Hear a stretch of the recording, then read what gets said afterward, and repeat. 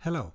This tutorial will cover the simulation in Blender and the necessary steps to prepare your project in order to be rendered on Concierge Render.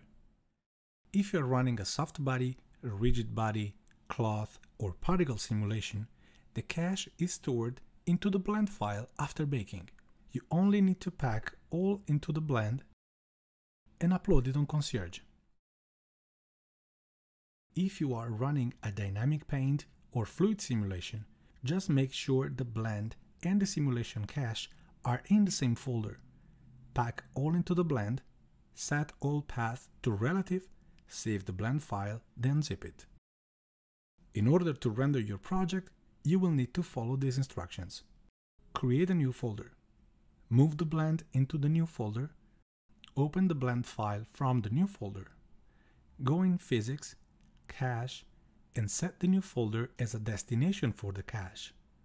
Bake data, pack all into blend, make all paths relative, save the blend, zip the folder,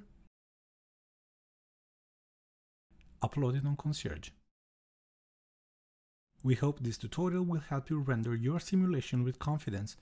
Thanks for watching and see you in the next video.